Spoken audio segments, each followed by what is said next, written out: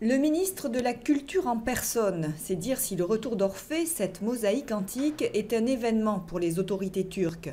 L'œuvre vient rejoindre la longue liste des pièces récupérées par la Turquie, 3700 en 5 ans.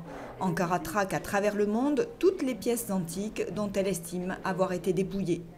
Nous demandons les œuvres qui ont été volées directement à la Turquie. Je crois que c'est notre droit le plus naturel. Un droit compris par le musée de Dallas qui a rendu cette mosaïque acquise en 1999 lors d'une vente aux enchères. À l'époque, le musée ne savait pas qu'elle avait été volée en Turquie. Mais beaucoup de musées ne veulent rien entendre.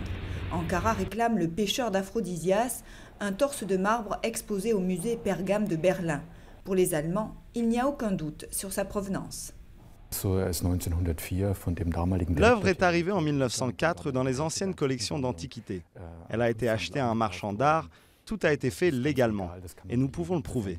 Nous ne voyons donc aucune raison qui justifierait une restitution. Pas de restitution non plus pour ces panneaux de céramique d'Iznik, issus de la mosquée Piyale Pacha d'Istanbul.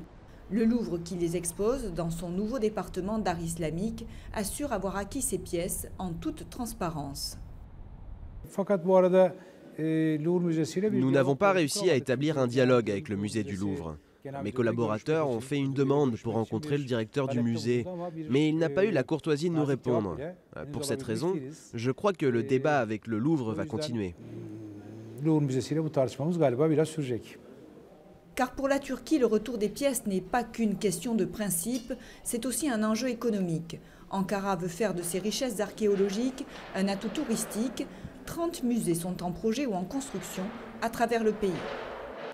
Et la liste des demandes de restitution est longue, avec en ligne de mire des musées aussi prestigieux que le Met de New York ou le British Museum de Londres.